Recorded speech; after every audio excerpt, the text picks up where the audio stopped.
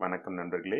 இன்றைக்கான ராசி பலன் இன்றைக்கான இன்னைக்கான வீடியோவில் நம்ம என்ன பார்க்க போகிறோம்னு பார்த்தோம்னா இந்தியாவில் இருக்கக்கூடிய மிகவும் அபாயகரமான ஐந்து இடங்களை பற்றி ரொம்பவும் பயமுறுத்தக்கூடிய ஐந்து இடங்களை பற்றி தான் பார்க்க போகிறோம் இந்த வீடியோவில் உங்களுக்கு என்னெல்லாம் பிடிச்சிருக்கு பிடிக்கலன்றதில் கமெண்ட்டில் சொல்லுங்கள் உங்களுக்கு இன்னைக்கு நீங்கள் கமெண்ட் பண்ணிங்கன்னா உங்களுடைய வாழ்க்கை ரொம்பவே அனுகூலமாக இருக்கும். அது மட்டும் இல்லாமல் உங்களுடைய குடும்பத்தினருக்கும் இதை ஷேர் செஞ்சீங்கன்னா ஐந்து நிமிடங்களில் நல்ல செய்தி உங்கள் வீட்டை தேடி வரும். நன்றி நண்பர்களே. வீடியோக்குள்ளே போகலாம்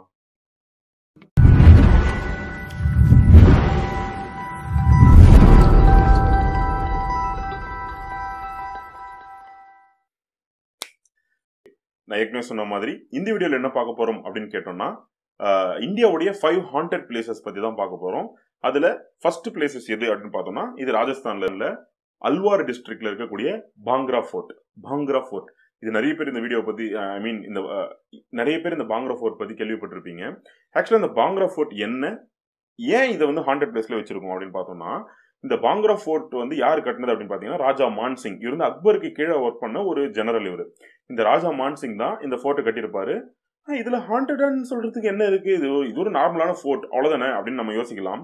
ஆக்சுவலா இது வந்து இப்போ இன்னைக்கு இருக்கக்கூடிய ஆர்கலஜிக்கல் சர்வே ஆஃப் இந்தியா சாயங்காலம் ஆறு மணிக்கு மேலேயோ இல்ல ஐந்து மணிக்கு மேலேயோ இங்க போய் விசிட் பண்றது வந்து தடை பண்ணிருக்காங்க அவ்வளவு பயங்கரமான இடமா அப்படின்னு யோசிச்சா இந்த மாதிரி பயங்கரமான இடத்துக்கு பின்னாடி எல்லாம் நமக்கு ஒரு கதை இருக்கும் இல்லையா?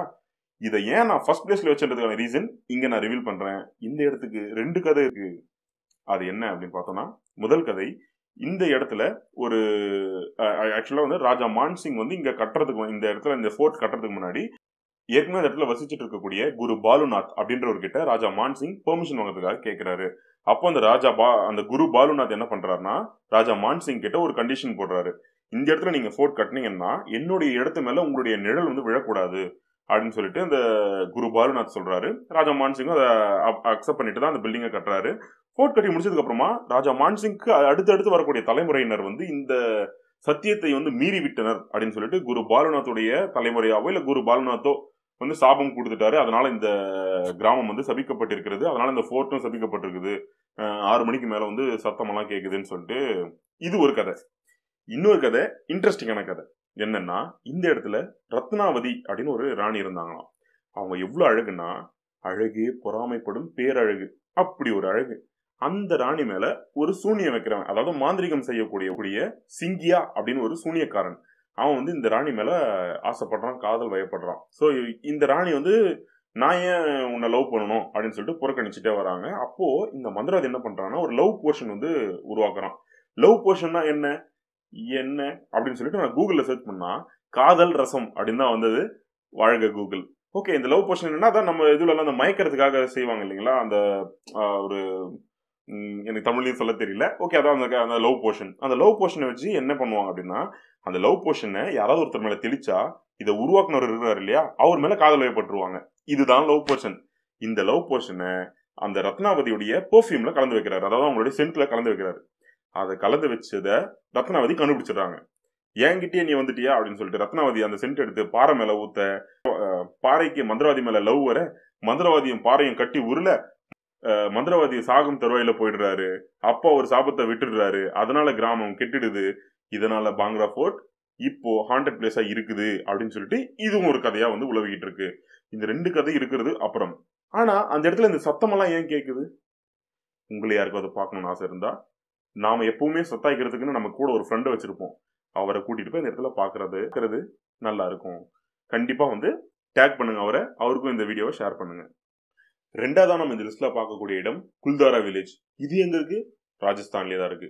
ஸோ ஒட்டுமொத்தமா ஹாண்டட் பிளேஸுக்கு ரெண்ட் எடுத்து ராஜஸ்தானை விட்டுருப்பாங்கன்னு நினைக்கிறேன். இந்த குல்தாரா வில்லேஜ்ல வந்து பார்த்தோம்னா இந்த இடத்த 200 வருஷத்துக்கு முன்னாடி அங்கே வசிச்சவங்க காலி பண்ணிட்டாங்க. அப்புறம் என்னங்க ஹாண்டடு இருங்க இருங்க.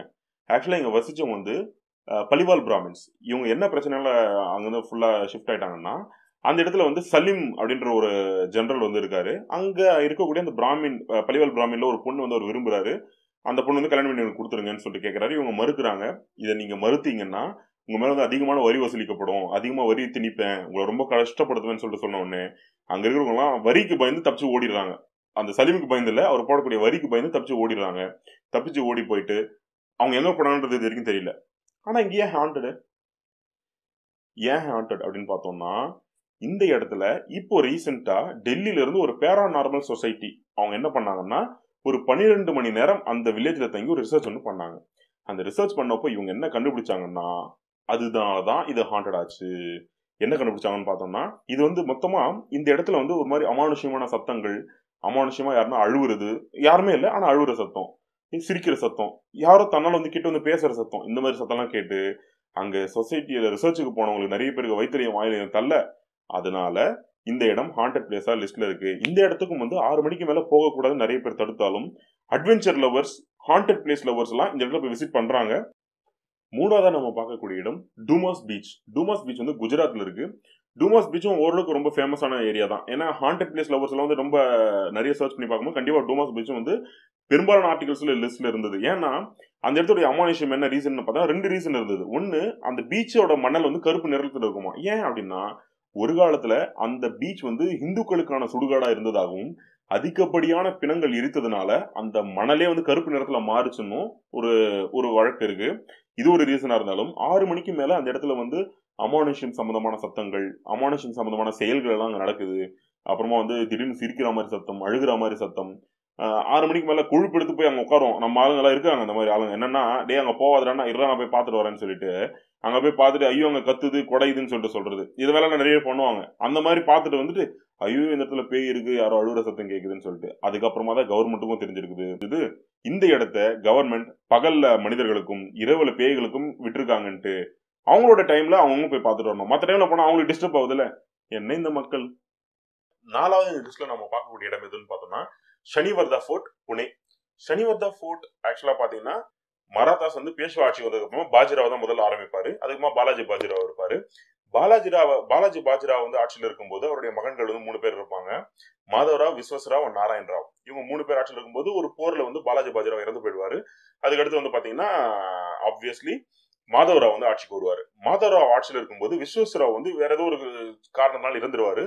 தன்னுடைய தம்பி இறந்த சோகத்துல மாதவராவ் வந்து சூசைட் பண்ணிக்குவாரு. ஸோ மாதவராவும் விஸ்வஸ்ராவும் இறந்துட்டதுனால நாராயண் ராவ் ஆட்சிக்கு வருவாரு. நாராயண் ராவ் வந்து ரொம்ப சின்ன பையன். ஸோ நாராயண் ராவ் சின்ன பையங்கிறதுனால எப்பவுமே மன்னர் வந்து ரொம்ப வயது கம்மினா அவர் அசிஸ்ட் பண்றதுக்காக ஒருத்தர் வந்து அப்பாயின் பண்ணுவாங்க. அப்படி வந்தவர் தான் ரகுநாத ராவ். இந்த ரகுநாத ராவ் யாரு அப்படின்னா இவருக்கு வந்து நெஃப்யூவா அதாவது அங்கிள் மாதிரி. யாருக்கு? நாராயண் ராவுக்கு அங்கிள் தான் வந்து இந்த ரகுநாத ராவ். ரகுநாத ராவுக்கு மராத்தாவுடைய ஆட்சியை பிடிக்கணுன்ற ஆசை. அப்போ ரகுநாதராவும் ஆனந்திபாய் அதாவது ரகுநாத ராவோட ஒய்ஃப் இவங்க ரெண்டு பேரும் சூழ்ச்சி பண்ணி நாராயண ராவை கொண்டுடுறாங்க நாராயண ராவ் கொண்டுட்டு அவங்க ஆட்சியை பிடிச்சிடுறாங்க. ஓகே நல்ல விஷயம் தானே? ஏன்னா வந்து அதிகப்படியான இந்திய வரலாற்றை எடுத்து பார்த்தோம்னா இவனை கொண்டுட்டு அவன் ஆட்சி பிடிக்கிறது அவனை கொண்டுட்டு இவன் ஆட்சி பிடிக்கிறது இதுதான். நாராயண ராவ் ரொம்ப சின்ன பையன்றதுனால இந்த சனிவரதா ஃபோர்ட்ல குறிப்பா முழு நிலவு நாள்ல இவனுடைய அழுகை சத்தம் அதிகமா கேக்குது அப்படின்னு சொல்லிட்டு அதாவது மராத்தாவுடைய ஆட்சி மராத்தாவுடைய நினைவு சின்னமா பகல்லையும் நினைவுல இரவுல நினைவிடமா இருக்குதுன்ற மாதிரி இதெல்லாம் சொல்லியிருக்காங்க. சந்திரமுகி படத்துல வர சாஃப்ட் ஹேர சாமியார் கூட்டமே பூஜை போட்டிருந்தா பேய் பாடு ஓடி போயிருக்கும். ஐடியா இல்லாத பாய்ஸ். அஞ்சாவதா நாம இந்த லிஸ்ட்ல பார்க்கக்கூடியது சாத் கபர். சாத் கபர். அறுபது. ஓகேங்களா? சாத் கபர்னா கபர்னா வந்து சமாதி. என்ன அறுபது சமாதி அப்படின்னு பார்த்தோம்னா ஒரு பதினேழாம் நூற்றாண்டுல வந்து பாத்தீங்கன்னா அதில் ஷாஹி ரூலர். அவங்க வந்து கர்நாடகா சைட்ல ஆட்சி பண்ணிட்டு இருப்பாங்க. அவங்களுக்கும் சத்ரபதி சிவாஜிக்கும் வந்து போர் நடக்கிற ஒரு சூழல் வந்து உருவாகும். இங்க அதில் ஷாஹி ரூலருடைய கமாண்டரா வந்து அப்சல் கான் இருப்பாரு. அப்சல் கான் எப்படியாப்பட்ட ஆளுன்னா இது வரைக்கும் அவர் பண்ண எல்லா பொருளையும் வெற்றி. அப்படிப்பட்ட ஒரு வீரன் மாவீரன் அப்படின்ற மாதிரி ஒரு கேரக்டர் அவர் வந்து சிவாஜியை எதிர்த்து போறதுக்கு தயாராகிறாரு. ஏன்னா அதில் ஷாஹி ரூலருக்காக சண்டை போடணுன்றதுக்காக இவர் மொத்தமா தயாராகிறாரு. அப்போ ஏதாச்சும் ஒரு ஜோதிடர் வந்து எப்பா நீ இந்த மாதிரி வந்து சிவாஜி எதிர்த்து போர் பண்ணணும்னு நினைக்கிற? இந்த போர்ல உன்னால ஜெயிக்க முடியாது. நீ இதுல தோக்க போற. உன்னை பிடிச்சி அவங்க கொல்ல போறாங்க. தப்பிச்சுக்கோ. அப்படின்னு சொல்லிட்டு அந்த ஜோதிடர் சொல்றாரு. இவருக்கு என்ன தோணுதுன்னா போர்ல இருந்து பின்வாங்கணுன்றது இவருடைய எண்ணம் இல்ல. இன்னொன்னு யோசிக்கலாம் மனுஷன். அங்கதான் நிக்கிறாரு அவர். என்னன்னா அவர் தான் உண்மையாக காதலித்து திருமணம் செய்து கொண்ட தனது அறுபது மனைவிகளையும் கொல்ல வேண்டும் என்று நினைக்கிறார். இதுல அறுபது மனைவின்றது கூட அப்புறம். உண்மையாய் காதலித்து அறுபது மனைவி இருக்குது பாத்தீங்களா? வேற லெவலுங்க அதெல்லாம் யாராலையுமே முடியாது.